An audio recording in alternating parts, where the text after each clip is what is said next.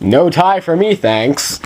It's not an option! It's toy sales blowout! We gotta blow out all these toys!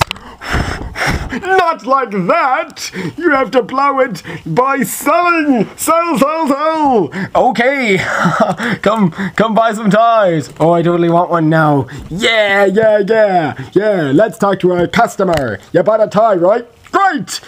Go tell him what an awesome tie he got. I actually wore this one in. Man, I wish I had a tie that funky fresh. Well, it's not. I'm going to dance until all the toys are sold. Oh, I'm done.